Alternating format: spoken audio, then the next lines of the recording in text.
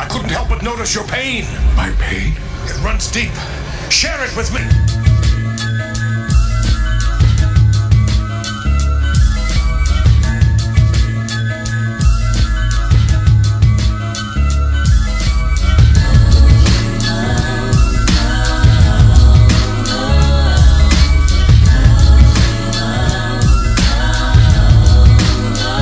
I don't think people is listening when the prophets try to warn us about these devils that's always trying to harm us. Have to be prepared to prevent unforeseen casualties. Most niggas will sell their own out for in salary. When God removes certain ones from your life, that is a sign. Cause most are acting like the real but fake in disguise.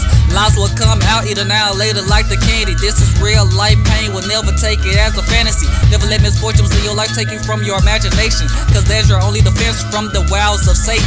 People will be hating when they see your light shining, knowing that they will never be strong enough to become a diamond. Hearing sirens every day, death is all around the planet. Like light in the wicked city, can't get touched, they can't stand it. Giving all praise to the creator that will endure to the end.